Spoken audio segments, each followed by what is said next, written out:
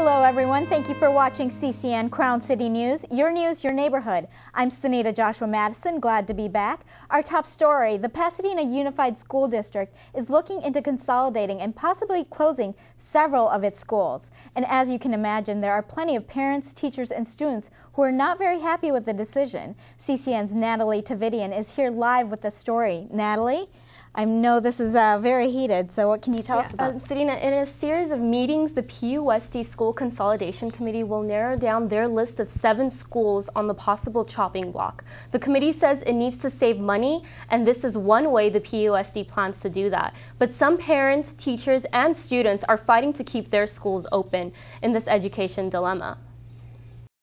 My concern is for the children and where they would go. Martha Esquivel is a parent of a former PUSD student who says her daughter's success is the product of hardworking PUSD teachers. My daughter is um, uh, in her freshman year at college. Um, she's at MIT, and um, by no means was her path to MIT a an easy one. She couldn't read in second and third grade.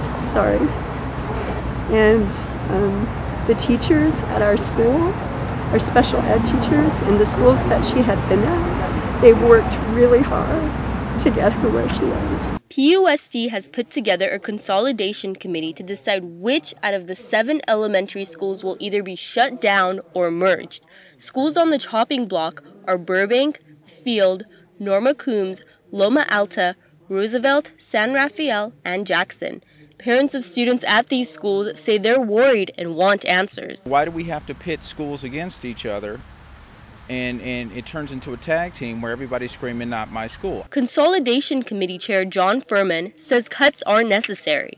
The school district has lost over $25 million in the last couple of years uh, because of the state budget cuts. So, as the state has less money, the district has less money.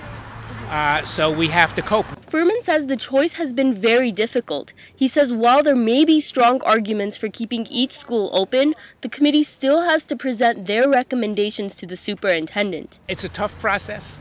No one likes to go through this. It's a wrenching process. As they await the committee's decision, parents say they're anxious about where their children will go next fall. We want what's best for our kids. And I got to tell you, if my if my school's closed, I'm gone. I'll, I'll go live in a closet in Arcadia. The committee will present their recommendations to the superintendent and the school board will have the final say. Community forums are scheduled for tonight, Monday, October 4th from 6.30 to 8.30 and Friday, October 8, 6 to 8 p.m., both at Elliott Middle School. School officials say parents will have information about their children's school by December and can begin to make plans for the 2011-2012 school year. Well, thanks for that report, Natalie. We're definitely going to be keeping our ears open to see what they have to say. You can visit the Pasadena, get more information at pusd.org to find out more information about school consolidations and the closure process. Mad Doctors, a group of doctors called Mad as Hell, say the healthcare system is broken and that they are not happy with the current law of the land. They say healthcare reform did not go far enough and they want a single payer universal healthcare system for all. They're touring California right now and made a stop in Pasadena's Memorial Park this past weekend. CCN's Connie Tran was there.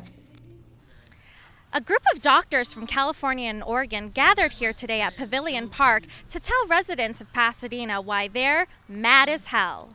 Mad as Hell Doctors, the roots of Mad as Hell Doctors actually started about four years ago when, um, as an emergency physician, uh, my job was driving me crazy, literally. Paul Hochfeld says Mad as Hell Doctors is made up of physicians who are angry at the healthcare system. What I found was we don't have a healthcare system. We have a sick care non system. And we waste 20 to 25 percent of all of our healthcare resources servicing the insurance industry. Dozens who came out to support the doctors said they too were mad as hell about healthcare. We need to be aware that healthcare is a right and that the present way that healthcare is delivered, we're not getting our value for our dollars. Many people expressed their frustrations on stage, including this singer, who urged that now was the time for change. Now's the time to wake up this nation. Now's the time for we the people. I've cared most of my time for individuals of low and middle income. As these plans came in, I never refused to care for anyone. I always felt that every human being deserved medical care. Hochfeld says he hopes this event gives local people intellectual tools, insight, and courage to talk to their neighbors and continue the dialogue about health care. This health care bill that, that got passed isn't going to fix it, so we're still mad as hell. To find out more information on the organization Mad as Hell Doctors, visit their website www.madashell.doctors.com. In Pasadena, Connie Tran, CCN. While the mad as hell doctors say the new health care law doesn't go far enough towards single payer universal health care, plenty of others say it goes too far. Republicans vow to repeal the new health care law if they take control of Congress, and they advocate instead for things like insurance company competition across state lines and allowing small businesses to pool their resources to buy lower cost health insurance. So we'll be finding out about that. Watch how you can park near schools in Arcadia. Rose Court finalists will soon be announced, and mentoring troubled young men. Next on CCN Crown City News. Your news, your neighborhood. Don't go away.